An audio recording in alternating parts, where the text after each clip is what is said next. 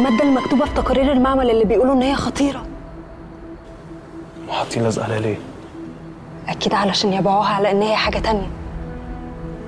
نهار أسود.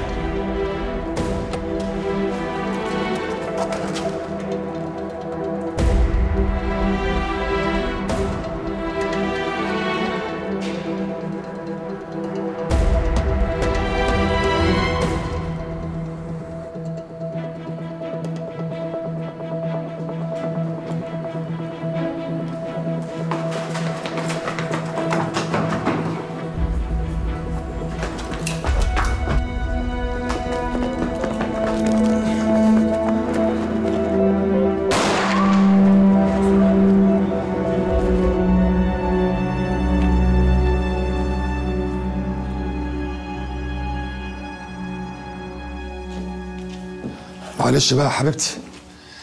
لولا إن انت وحشاني موت ما كنتش سبت الهام نايمة وجيت لك. بس معلش مضطر أروح لها. خصوصا انها لسه خارجة من المستشفى. عندك حق لازم تروح لها. إحنا على كده بقى مش هنسافر السفرية اللي اتفقنا عليها مش كده؟ أعتقد هيبقى صعب يا حبيبتي. بس عادي يعني. ممكن ناخد يوز في أي أوتيل. ميرسي يا حبيبي ربنا يخليك ليا.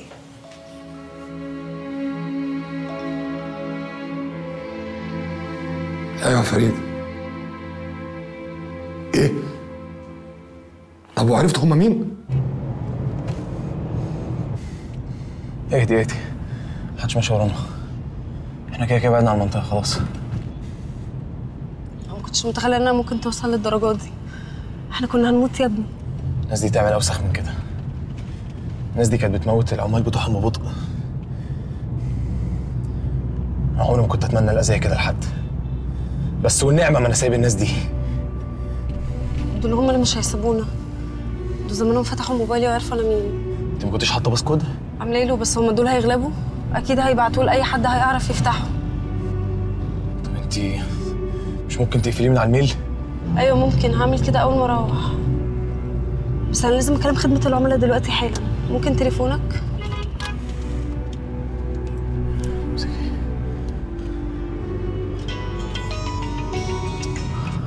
في. دي باباك هيك بيتكلم.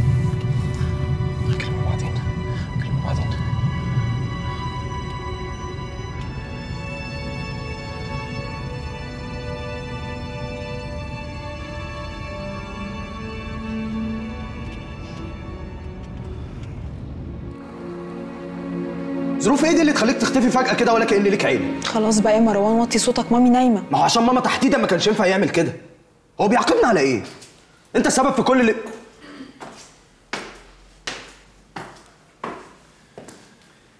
إيه يا أولاد إيه اللي معاكم كده؟ ولا حاجة يا بابي كنا قاعدين نتكلم. طب إيه ماما صحيت؟ لا مامي نايمة من ساعة ما حضرتك نزلت. أنا كل شوية ببص عليها. طب يلا الوقت اتأخر خش نام. ولو احتاجت حاجة أنا جنبها. أوكي. تصبحوا على خير. تصبحوا على خير. مروان أنا وعزت وجلالة الله اخر مرة دي. كنتش قاصد أمشي يعني. من ساعة ما مشيت وأنا مبقتش عارف أعمل إيه.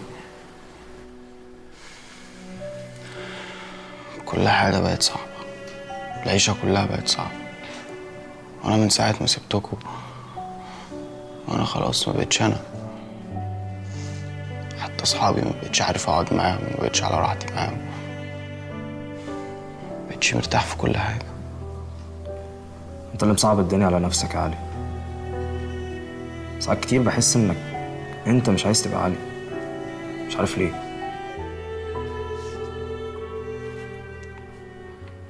أنا بحاول. أنا آسف. خلاص بقى يا أخي بقى المسامح كريم بقى. مش عارف. مش عارف هرجع أتعامل معاك زي الأول ولا إيه. يمكن مع الوقت أعرف أتعامل معاك زي الأول.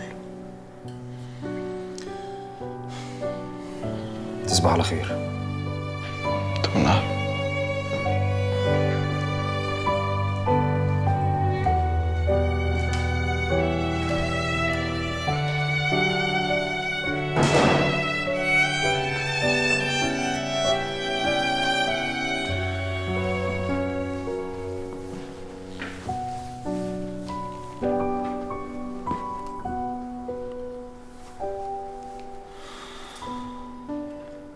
خلاص.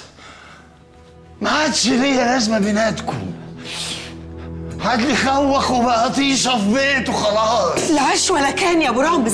العش ولا كان يا أخويا. ما تزعلش مني يا عدلي رامز كان محلفني. محلفك. محلفك على إيه محلفك. فتسيبيه عشان يرمي نفسه في التهلكة. والعذراء قلت له قلت له ما سمعش كلامي. كنت عايز نعمل إيه بس؟ تعملي إيه ده؟ إيه تمنعيه بالعافيه تكتفيه من ايديه ومن رجليه وما تخليهوش يخرج. كنت تقولي لي تقولي لي وأنا عامله زي عيل صغير ما دام كبر وليه ولسه مش عارف مصلحته. بس بس يا أخويا بس صحتك بابا. صحتك يا أخويا بس. بابا، في إيه؟ بس. بابا مالك في إيه؟ بتشتغل في شركة دياب. بتشتغل مع راجل يا رامز. يا بابا أنا بعمل كده عشانك. ومين اللي قال لك إني عايزك تعمل أي حاجة عشاني؟ بقول لك إيه من دلوقتي مالكش دعوة بالعيلة دي وبكرة هتسيب الشغل ده. مش هينفع يا بابا. أنا قربت قوي من الناس دي وبكرة هجيب لك حقك وحق رقدتك اللي كانت في البيت دي من الكلاب دول. قربت ده إيه؟ كان غيرك قشطه يا حبيبي. انت لسه عظمه طريه ما تعرفش حاجات كتير. واذا كان على حقي أنا حقي عند ربنا. يعني هيرجع لي وهيفضل عنده. واقول لك على حاجة أنا أصلا مش عايز حاجة. يا رامز يا ابني ابعد عن العيلة دي. يا بابا أنا مش لوحدي. أنا في ناس بتساعدني. أنا محمي. أنا هموت قريب. بعد الشر عليك يا بابا. سيبني اكمل كلامي ما تقاطعنيش. كل اللي بتمناه. إن مفيش حاجة هتريحني في تربتي غير ان أشوفك أنت وأمك بخير. ما توجعش قلبي عليك يا ابني. بس بس على مهلك. بس عشان صحتك. بس يا أخويا بس. لازم يتحاسبوا يا بابا. لازم يتحاسبوا. عشان مش أنت بس اللي اتضريت منهم دول ناس كتير ويمكن يكونوا أغلب مننا كمان. أنا لازم أكمل. اديني على السرير تعالى يا اخويا اديني على السرير تعالى يا اخويا تعالى تعالى بس بس بس. ارتاح. ارتاح يا اخويا ارتاح. ارتاح. بس.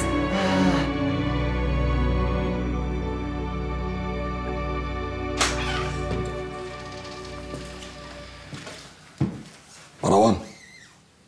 اصحى يا مروان. مروان ماما حصل لها حاجة؟ لا يا حبيبي ما تقلقش. أنا اللي كنت عايزك في موضوع طب الموضوع ده ما يتأجلش لحد ما اصحى يعني؟ ما كنتش صحيتك.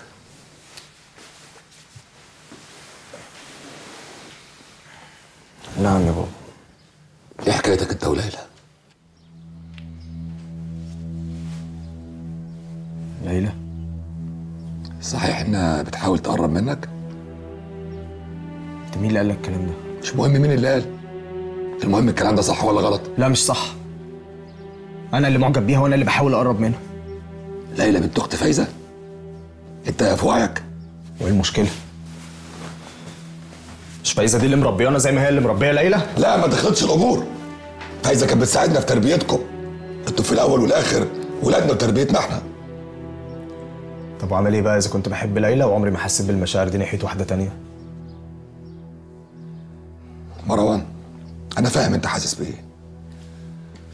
أنا كمان مريت بالظروف اللي أنت مريت بيها دي زمان ويمكن أكتر. لكن بعد السنين والتجارب بتكتشف إن الحب مش كل حاجة. في حاجات أهم المستوى الاجتماعي البيئة اللي البنت اتربت فيها. طب سيبني أنا أجرب وأقرر بنفسي. مش يمكن الحاجات اللي بتتكلم عليها دي ما تفرقش معايا؟ وبعدين ما أنت اتجوزت ماما رغم إن عيلة جد كلهم كان أصلهم فلاحين. إيه ده؟ انت بتقارن مامتك بنت محمود دياب خريجة الجامعة الأمريكية بليلى. هو انت ليه بتتكلم عن ليلى بالطريقة دي؟ ليه محسس انها بنت جاية من الشارع؟ مش عايز اسمع كلام تاني. ولو ما قفلتش الموضوع ده هنضطر اكلم فايزة. أنا مش عايز أعمل حاجة زي كده. يلا البس هدومك وانزل افطر معانا. مش عايز ماما تحس بأي حاجة. الدكتور قال نبعد عن أي توتر. يلا.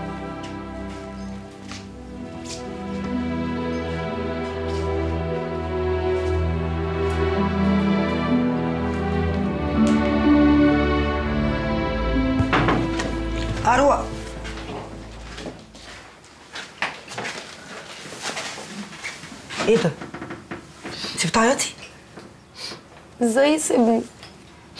إزاي يسيبني؟ أنا عملت إيه غلط؟ حبيبتي إيه الكلام العبيط اللي انت بتقوليه ده؟ هي دي أول مرة انت ومروان تتخانقوا فيها وتسيبوا بعض؟ ده أنا أصلا بقلق لما ألاقيكوا قاعدين شوية كده من غير ما تتخانقوا. مروان عمره ما سابني عشان خاطر واحدة تانية. حتى لما كنا بنتخانق كنا بنتصالح عادي. ولما كان بيعرف واحدة من ورايا ما كانش بيقول لي عشان ما اتضايقش. لكن المرة دي غير أي مرة. ومين اللي قالك إنه هيكمل معاه؟ هتاخد يومين زيها زي غيرها وبعد كده هيسيبها. يا هبلة مروان بيحبك انت هيلف يلف ويرجع لك. ومين قال لك إن أنا هوافق أرجع له بعد ما سابني عشان خاطر واحدة زي دي؟ تفتكري ممكن يرجع لي؟ اروى حبيبتي. قومي غيري هدومك وحطي ميك اب وروحي على جامعتك. مش عايزاكي تجيبي سيرة حاجة خالص. عايزاه لما يشوفك يندم إنه ضيعك من إيده. فاهمة؟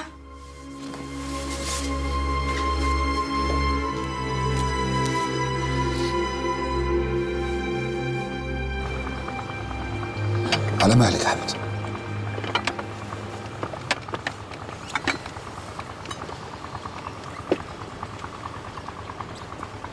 صباح الخير يا حبايبي يا صباح النور. إزيك يا فايزه الحمد لله. يا ألف نهار أبيض. طمني أنا كويس. إن شاء الله دايما يا رب.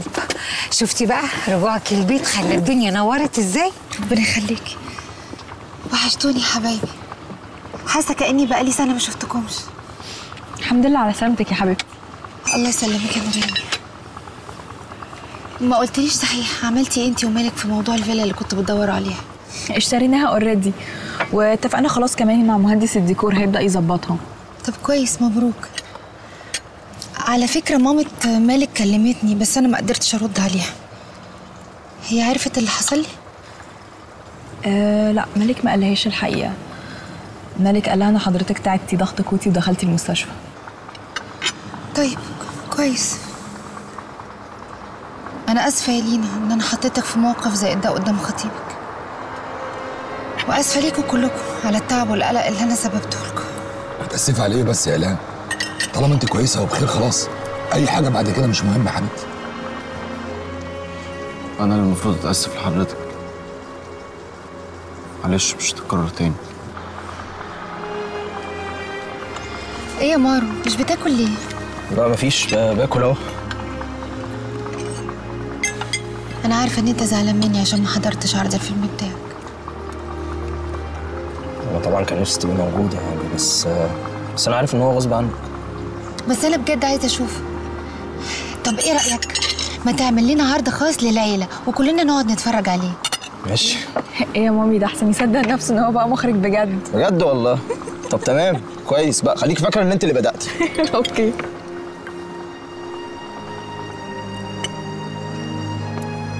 مين يا إلهام دي سارة بتسألني إذا كنت رايحة ال garden center النهاردة ولا لأ. أنا من رأيي ترتاح أحسن. هرتاح النهاردة بس لكن من بكرة إن شاء الله لازم أروح مقر الجمعية عشان أجهزه. هحتاجكم معايا على فكرة. برضه عملت اللي في دماغك يا إلهام؟ أنا ما قصدتش إن أنا أتجاهل رأيك بس أنت عارف كويس قوي المشروع ده مهم بالنسبة لي قد إيه. وبعدين كمال هيبقى معايا يعني إن شاء الله مفيش أي مشاكل هتحصل لنا. آه طالما كمال معاك يبقى خلاص. أنا اطمنت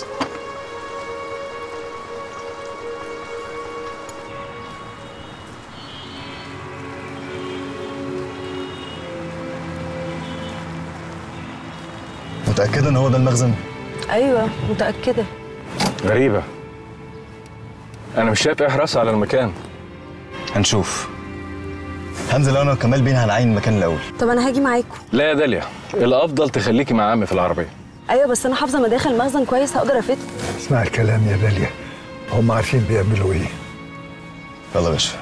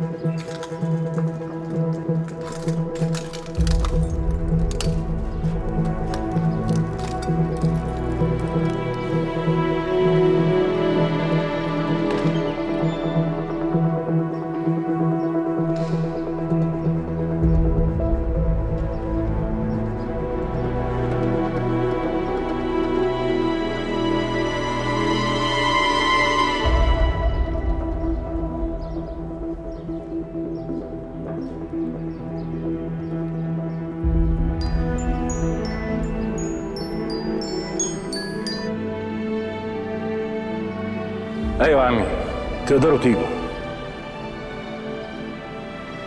أكبر غلطة عملتها الانسه داليا إنها جت امبارح لوحدها. كان لازم تبلغنا عشان نقبض عليهم متلبسين. ما هي ما كانتش عارفة إذا كانت هتلاقي حاجة ولا لأ.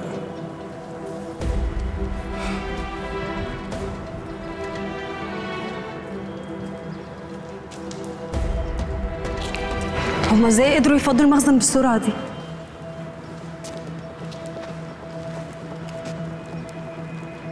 أنا شايفاه بعيني امبارح كان مليان على آخره. ده شيء متوقع. فريد مش سهل. الجدع اللي اسمه فريد ده لازم تقبضوا عليه. هنتهمه بايه؟ يعني إيه تتهموه بايه؟ داليا تشهد باللي شافته وتمسكوه وتحققوا معاه. يا عمي داليا ما عندهاش أي دليل. يعني لو بلغت عن فريد مش هنستفيد أي حاجة غير إنها تكون كشفت نفسها قدامه وعرضت نفسها للخطر. وهي دلوقتي مش في خطر؟ ما سهل قوي إن فريد يوصل لمكان شغلها لعنوان بيتها. وبعدين ما هو معاه الموبايل بتاعها. أنا مش عايزك تقلق على أنسة. رجالتنا هيتابعوها ومحدش هيقدر يقرب لها. بس أنا عندي سؤال. أنت عرفتي مكان المخزن هنا إزاي؟ أنا صحفية وعندي مصادري ها طبعا. بس هو الموضوع مش سبق صحفي.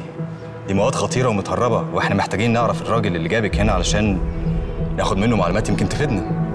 أه بس اعذرني أنا وعدته إن اسمه مش هيجي في أي تحقيق.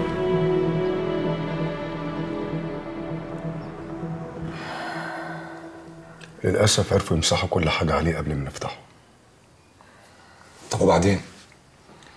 بحاول في سكة تانية مسألة وقت. اسمع يا فريد أنا مش عايز تهور. اعرف هما مين؟ وخوفهم وبس مش أكتر من كده. سيب الموضوع ده عليا وما تقلقش. طب والمخزن اللي نقلته فيه المادة أمان؟ ده مخزن من مخازن الشركة اللي مهجور عندنا بقاله سنين. محدش يعرف مكانه غير الرجالة بتاعتي. على فكرة. المادة دي لو اختفت مشاكلنا معظمها تنتهي على فكرة يا راضي أنا فعلا لقيت مشتري وحددت مع ميعاد عشان نخلص خالص. هايل يا فريد هايل. يلا بعد اذنك صحيح. الهام هتفتح الجمعية بتاعتها دي يوم الجمعة. عايزك تبقى تعدي كده تشوف الأمور ماشية كويس ولا لأ. أنت قلقان من حاجة؟ يعني اهالي العيال دول خايف يعملوا مشاكل ولا يتهجموا على المكان؟ الهام مصره على الحكاية دي وأنا مش عايز ازعلها كفاية الحالة النفسية اللي كانت فيها.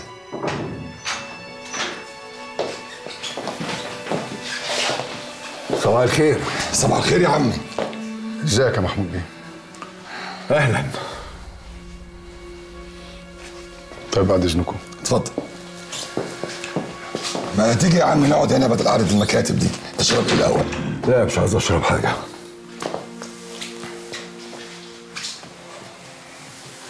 قول لي يا راجل.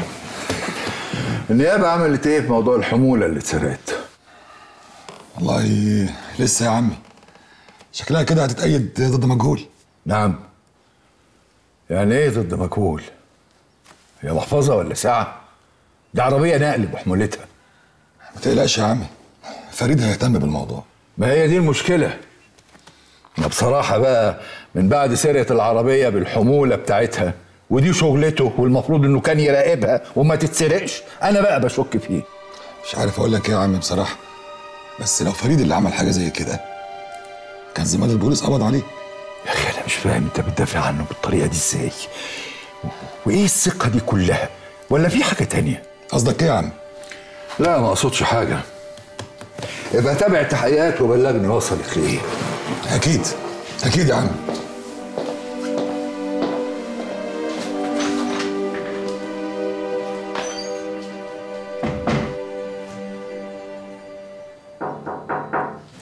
اتفضل.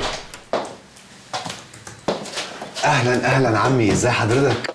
إزيك يا هشام؟ الحمد لله. إلهام عامله إيه؟ طمني عليها. لا كويسه أحسن من الأول. والله أنا كنت عايز أعدي على حضرتك النهارده. أقعد يا هشام. اتفضل يا عم. خير. في معلومات جديدة؟ في يا عمي. الحقيقة يا عمي أنا بعت إيميلات لكل الشركات اللي قدمت لنا عروض في الخمس سنين اللي فاتت. ولقيت إن الأسعار والمواصفات اللي قدموها مختلفة تماما عن اللي موجود في الأوراق اللي معايا. يبقى شك في محله. فريد بيلعب في الأوراق علشان نفضل نستورد من الشركة دي. طبعا له مصلحة في كده. عندك معلومات تانية؟ في ورق كتير قوي ناقص عن الشركة دي وبعت لهم أكتر من ميل بس ما بيردوش. طب وإيه الحل؟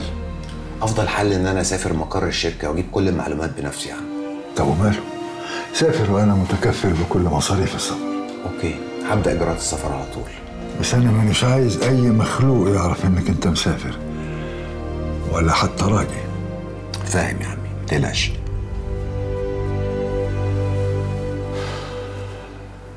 بس بقى يا سيدي إحنا هنجيب العيال اللي بيعيشوا تحت الكباري وعايشين في الشارع دول ونعلمهم بقى في الجمعية. عشان يترحموا من الشارع وبلاوي.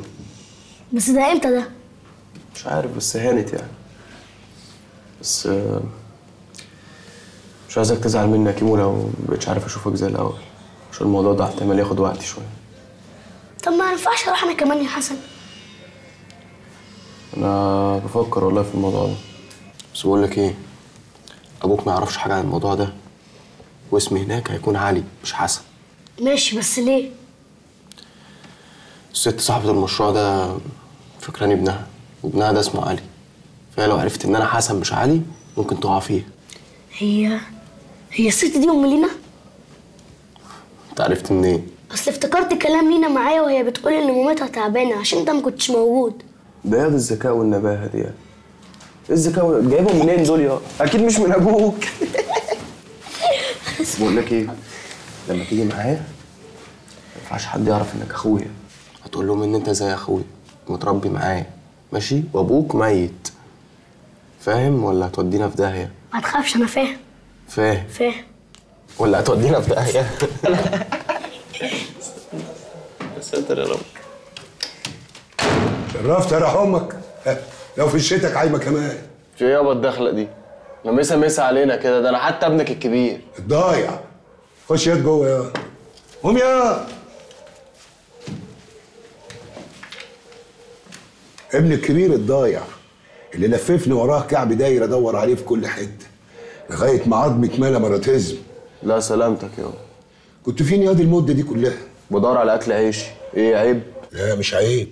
يعني سبتك من عيلة راجي؟ لا. الله. لقيت الحلال ما نفعش رحت رايح للحرام يا ابن الهرمة. بقول لك يابا ما تفكك من الشويتين دول. أنا جايلك في كلمتين. اشجيني. بيت راجي ده ما تخشوش تاني. الله الله. انت جاي تهددني بقى؟ لا أنا مش بهددك. أنا خايف عليك بس. ماشي. أنا هسمع كلامك بس بشرط. أعرف ليه بنت راجي هي والراجل اللي عامل نفسه ظابط مترمخين على الليلة وهم عارفين إنك أنت نصاب. مالكش فيه. كده ماشي يا حسن. خد مني دي بقى. فيها؟ لخفيها يعني إيه يعني فيها لخفيه مالكش فيه يا أبو علي. ده مالكش فيه. كل الزعل ده عشان رحت مقابلة في الشركة اللي بيشتغل فيها أحمد؟ أحمد ده يعرفني من زمان وهو حد محترم جدا مش بتاع الحاجات دي؟ هو مين ده اللي مش بتاع الحاجات دي أصلا؟ أحمد ده بيبص لك بصة مش عادية يعني. وبعدين إيه لازمة إنك تشتغلي في الشركة؟ طب أنت شفتني رحت اشتغلت؟ طب يا ريت هما بس يقبلوني أشتغل في الشركة دي. دي شركة دعاية وإعلام معروفة جدا وهتبقى فرصة كبيرة بالنسبة لي.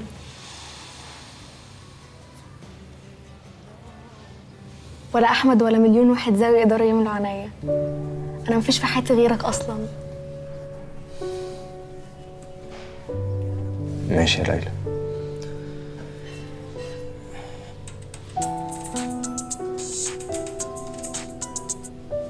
مش هتردي؟ ما أرد أقول إيه بس. بصراحة أنا متضايقة إني بكدب على خالته وخايفة تعرف إني بخرج معاك من وراها. أنا كمان متضايق جدا وعايز أقول لها على فكرة.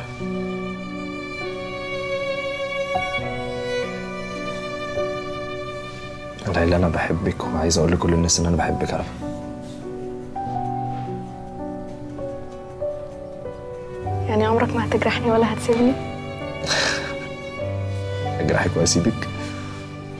لا عمري ما أجرحك وأسيبك. أنا بحبك وعمري ما هضايقك يعني. بحبك.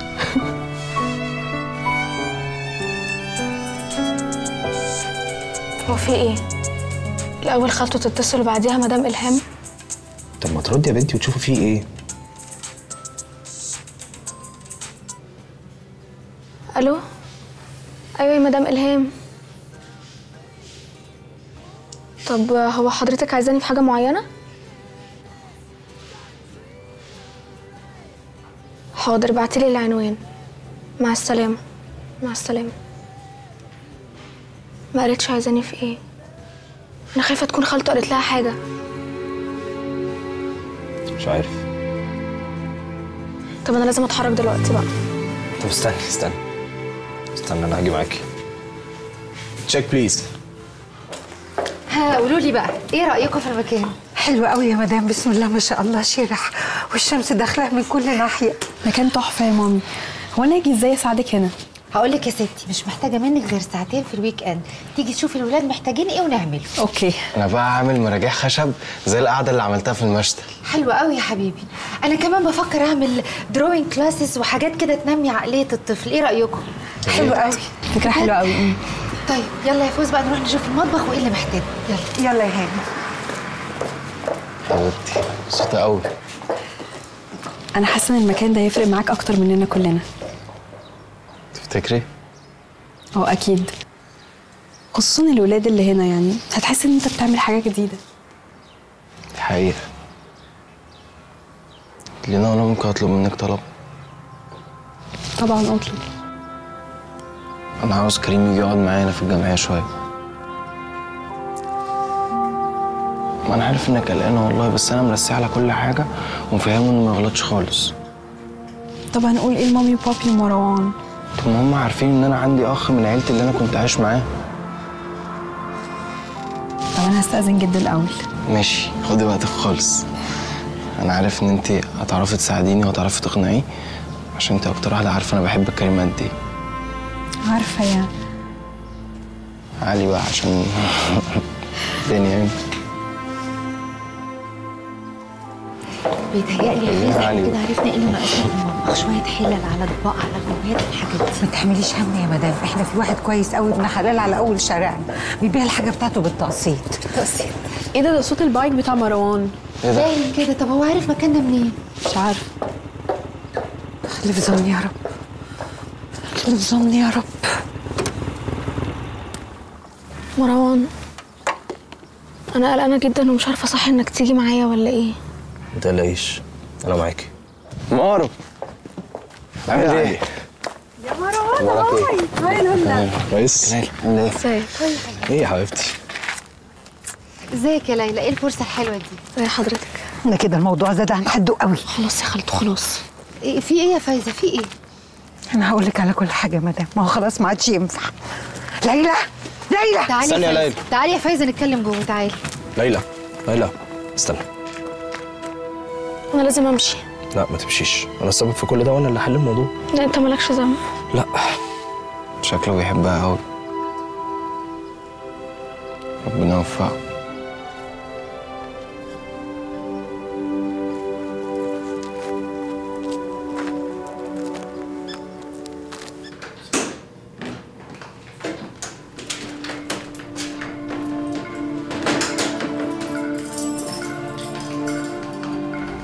ماما. بابا. ماما.